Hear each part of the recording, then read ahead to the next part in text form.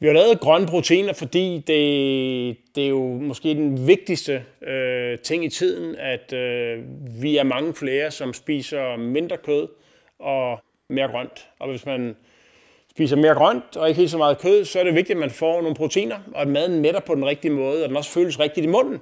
Og der er ligesom kun én vej til det, det er bælfrugter. Linser, bønner og ærter.